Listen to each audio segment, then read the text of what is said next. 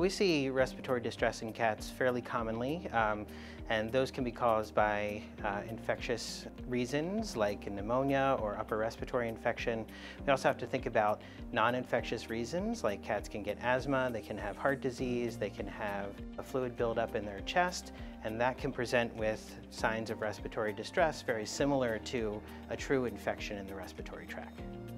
So some of the specific infections that we can see cats develop uh, are upper respiratory infections from viruses like herpes virus or calicivirus. Uh, they can get secondary bacterial infections from things like uh, mycoplasma, chlamydia, certain organisms like staph and, and streptococcus. Uh, they could also potentially have fungal infections and those similar processes could also happen down in the lungs as well as uh, causing pneumonia as well as causing upper respiratory infection. We don't know what the underlying cause is. We don't want to put the patient at risk for uh, decompensating and um, actually doing worse. Once I was certain that the patient was stable enough to obtain diagnostics, uh, really a good physical exam um, and assessment of the patient. Uh, is there evidence of upper respiratory infection like discharge from the eyes or from the nose?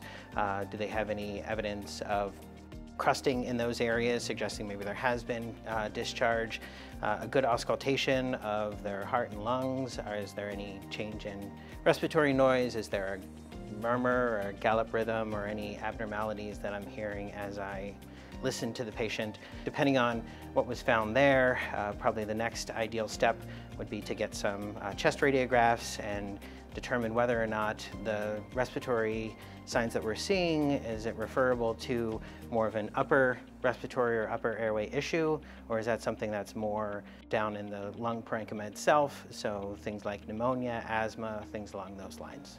After chest radiographs, uh, additional um, diagnostics that could be performed uh, because cats with uh, respiratory infections or that develop pneumonia may have underlying immune problems. Doing uh, testing for FELV and FIV is important. Um, and then if it's an acute case, especially if it's a first time occurrence, collecting samples from either the ocular or nasal discharge, you could potentially do uh, cytology, you could do PCR. Uh, the problem with that may be it can be difficult to distinguish what is kind of the normal flora of the upper respiratory tract uh, versus true pathogens that may be contributing to uh, an upper respiratory infection. I think the decision for when to use antibiotics empirically is not always always an easy one to make. Uh, I think the knee-jerk reflex is to say, oh, I think this, this cat would benefit from antibiotics. However, uh, if we're talking about upper respiratory infections, particularly if the discharge that we're seeing is more clear or serous in nature, uh, antibiotics are probably not warranted in those circumstances. Uh, and even if there is evidence of more of a mucopurulent discharge, antibiotics may still not be warranted. The recommendation is uh, at least give that pet a little bit of time to see if it can resolve on its own.